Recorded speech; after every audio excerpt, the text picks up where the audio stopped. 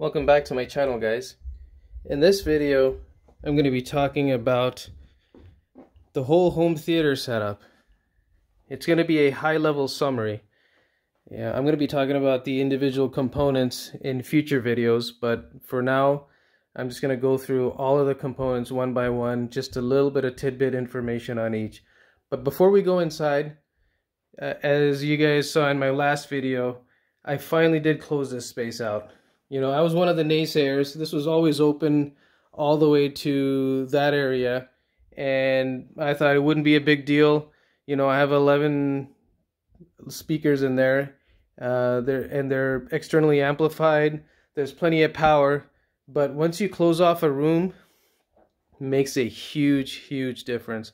Completely worth it. So if any of you guys are on the fence if they should close something off or not, I mean, I had it like this for seven years and ever since we closed it off, even my wife wants to be down here all the time to watch any any shows or any big movies that are that are out.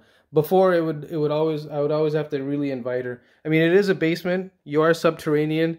It's cooler than normal. So my wife is cold when it's warm, and that be- becomes a hindrance for her to have to come down. But with this space being closed, you know it just stays warmer it's insulated it's sound in, uh, sound insulated as well. There's i think rock wool that was used all the way around and uh, the sound really stays incubated. So let's uh, go inside. By the way before i do go inside i thought it would be better to relocate this out here now that the door is closed. So when the kids or friends or whoever's over um, you know whatever's playing inside nobody has to go in there and disturb anybody. You know they just kind of come here and look at what's uh, what's playing and what the runtime is as you guys probably saw in my previous video. So I always like this little red uh, velvet rope thing. It makes it that much more official to say please be seated. All right. So again as you guys have seen in the previous videos know, this is the the latest setup I'll start in this corner for now. So this beastly speaker is the Polk RTIA. I want to say it's at least four and a half feet or uh, yeah, at least four and a half feet high. And it's, it's very heavy, about 75 pounds. So this thing is extremely power hungry. You know, I had this just powered off of my Denon 4300 receiver. Uh, did not do it justice. So it's externally amplified now with my um, Emotiva uh, XPA 5. Uh, I've got two of them.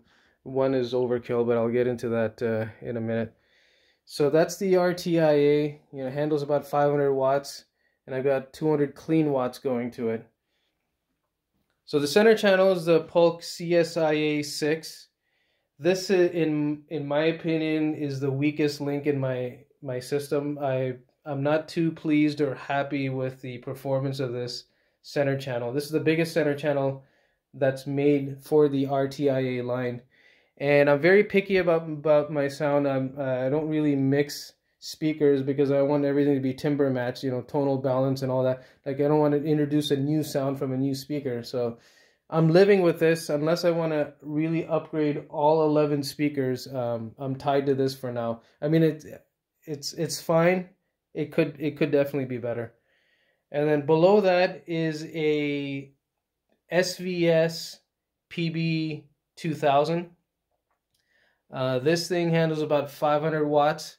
It really pounds the room. It's it's it's good enough for this size room. I mean, you know, the, the on the wish list, uh, I wish I had a PB16 or something something bigger from SVS or even uh, some of the other uh, manufacturers that I've been exploring or looking at. I haven't gotten upgrade itis on the subs just yet. I'm uh, I'm happy with it. So I've got two of these. One in the front of the room, and there's another one behind the back row seats. So to get even bass distribution for the room itself, um, do recommend two subwoofers located in different parts of the room, uh, if possible. And you know, uh, beyond that, the screen itself, 106 inch uh, elite screens uh, screen but this may be going soon I have deliberately pushed my seating that much further back because my plan really is I don't want to see any speakers in the room. I don't want to see this front stage. I don't want to see these guys here. Um, I I want to get a acoustically transparent screen and put these speakers behind that screen so that it's a it's a perforated um, acoustically transparent screen. And uh, you know I can then elevate this speaker towards the center. These can sit a little bit higher. And um, um, in order to accomplish that this entire screen would have to be built forward. So I'm mulling that over and just the logistics of how to get that to work. Um, I'm not handy enough to probably do that myself. So I'm probably going to get a contractor to to help with that piece of it so that is why the seats are somewhat more pushed back than what they were uh, uh, in previously. And in the walls, I've got I've got the side surrounds and I've got rear surrounds. I don't know if you can make it out, but I I never have the the lights this bright in the room, but uh, just for the video's sake. So there's two more there in the back for the rear channel surrounds. And then there's uh, four Dolby Atmos. So these speakers are the R65 model Polks, and they are timbre matched with the RTIA line. The, in the ceiling, I've got four of these um, RC60i uh, Polks as well, and again, timbre matched. They have little tweeters, so what I liked about them is that the tweeters are uh, they, they rotate, they're on a swivel, and they're all pointed towards the main listening position, which is that seat right here. So when I ran room calibration, everything's calibrated for the best seat in the house, which is this seat here. Uh, I mean, what calibration tries to do is uh, try to make it more of a balanced sound in your seating area. But not to be rude, but I don't really care for the folks sitting in the back to have the best audio experience. I want to have the best audio experience when we're watching a movie, hence why it's all calibrated for this seat here. Uh, all right, beyond that, I'll talk about the seats in a minute. Uh, the equipment list, let me get this out of the way. So the equipment list itself, it's off right now, but uh, let me just turn it on quickly for the sake of continuity. I wasn't gonna, I was trying not to pause, but I should have in hindsight. Um, let me just start on the top. So I have an NVIDIA Shield that's sitting right here. Probably the best media center that's Android based that you can buy. Uh, very high quality, does uh, up conversion as well of 1080p, and it does it very, very well you know, uses uh, artificial intelligence as well. So it's a 2019 model. I've got another one upstairs on the uh, family room TV. You may be wondering why I have binoculars sitting here. Um, with the 4K projector, the pixels are very, very small. So when you want to focus onto the screen, I'm pretty picky when it comes to focus. I want it to be as sharp as possible. So your, your human eye from this distance can't see the little pixels. So with the binoculars, that's what I use to to really tune, um, uh, fine tune the uh, the uh, uh, image itself. The projector is the Optoma UHD 65. I am very very happy with this projector. Um, it may not have the highest spec uh, in terms of contrast or any of that, but uh, I am very, very pleased with it. Uh, the image quality, the sharpness, sitting, you know, from the main listening, from the main position, you know, it's about nine feet to the screen, and uh, the sharpness is just, in my opinion, incredible. So it, you know, it can be argued that it is a, a gimmicky uh, upshifter, but from I've seen a direct comparison between this and some of the very high-end native 4K uh, Sony's, and in a real world situation, very, very difficult to see the resolution difference. I mean, you need to you need to literally pause the screen on a side by side comparison to pick out that hey, those few pixels are looking looking sharper. So you know, it's it's what where those guys went out is in better contrast ratios and uh, better optics uh, that are that are used the the glass itself and all. But you know, officially, I guess uh, this UHD sixty five is uh, um, uh, it, it it allows each pixel to to fire twice. So there's 8.3 million pixels, and and it really officially meets the 4K UHD uh, standard, um, and and therefore classifies as a 4K projector. So I'm very happy with it. Okay, going through the equipment list, there's the Denon 4300. I basically use that as a preamp. Um, I've got uh, I've got all the audio going out to the Emotivas. So below that is the bass shaker amp. It's a Dayton Audio SA320, I believe, and that just powers the bass shakers that are in the seats. Uh, here's the first XPA one, uh, XPA five and then uh, the bottom one's the other XPA 5. One's a Gen 1 and the other one's a Gen 2. So on top of that, everything's being controlled by Harmony. Uh, you know, automation is key. You want things to, to flow easily. And automation is what allows you to then be able to play things with one button, turn things off with one button, or use your voice.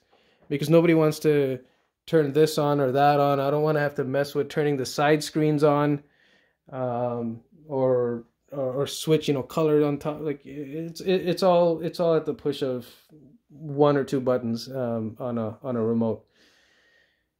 Lastly, uh, let me just talk a little bit about these uh, these seats. These seats are extremely comfortable.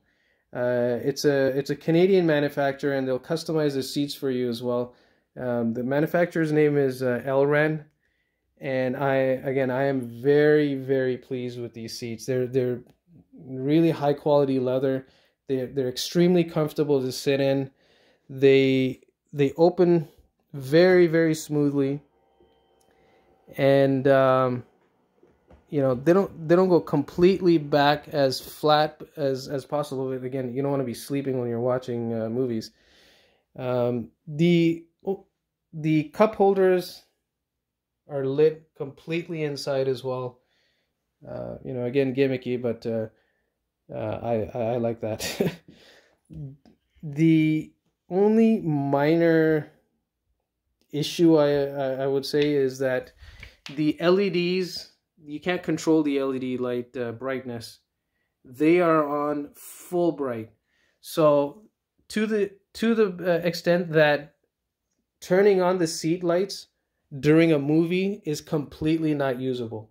So all this blue light that you see on the screen and around is all being cast from underneath the seats.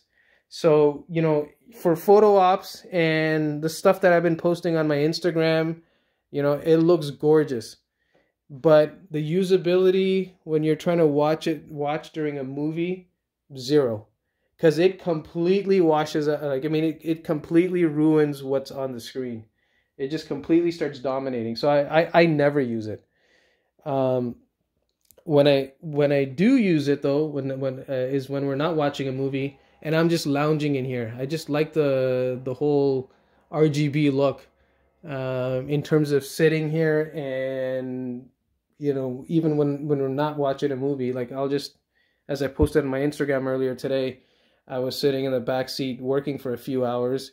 You know, uh, these screens were running on the side, and the ambience in this room, ever since I closed it off, it's just it. It really feels like I'm transported somewhere else. Um, so beyond all of that, I just wanted to at least give you guys a high level overview of all of the equipment in this room. There's probably a couple of things that I'm forgetting about. Maybe I'll just add in that uh, the the rope lighting itself. You know, nothing fancy. I think it's about five meters of uh, rope lighting, and it connects to the back. And I've got that also integrated with uh, the Harmony remote. So again, you know, when I say turn the theater on, uh, the light comes on, and uh, you know the movie posters turn on, the outside uh, posters turn on and um, when I when I hit play, uh, full disclosure, I actually have all of the uh, all of the lights off. Everything is off, including the the side po- uh, the side posters, except with the exception of that first one on the right. You know, this one will get completely black with, as you saw in my previous videos, if you guys have seen it, um, it just shows the runtime at the bottom. And that's mostly for my wife who sits in this seat, um, literally uh, uh, asking every five or 10 minutes how much time's left. No matter how engrossing a movie may be, it's irrelevant. She will ask how much time's left, what's going on, like, you know, uh, what's the end time, all of that. Like, you know, it'll literally be every five minutes. Uh, so, and besides asking questions all the time on every movie, that's another uh, thing that she always does. So it's a pet peeve of mine, and she knows it. anyway, um, let me see if there's anything else in this room. Well, what I what I will say is I'll I won't want to I don't want to make this that much longer. I'm already already 15 minutes in. Uh, I will make individual um, um, further videos that talk in more detail about some of these components. I just wanted to quickly run through all of the equipment that is in this room. Uh, by the way, it is felt on the on the walls. Um, you know, I wanted that whole Batcave look, and uh, it did help with the audio as well, with, uh, with better isolation, and um, and it uh, it completely darkened it out. So on this side, you know where the new wall went up uh, it is uh, it is drywall with sound isolation insulation sorry inside as well anyway guys thanks a lot for watching. Please do subscribe. Um, I wanna I wanna continue making videos and and and hopefully you guys are finding some of these things helpful. The intent of my my YouTube channel is not you know some aristocratic high end ultra high end uh, um, uh, theater room. Um, this is you know uh, achievable it's not a million dollar basement. It's all achievable. I mean this is all stuff that um, i've kind of been doing on the uh, on my own just adding and, and upgrading constantly. So you know please do subscribe because i i, I do want I, I wish I wish uh, more people can can at least learn a little bit and do certain things themselves.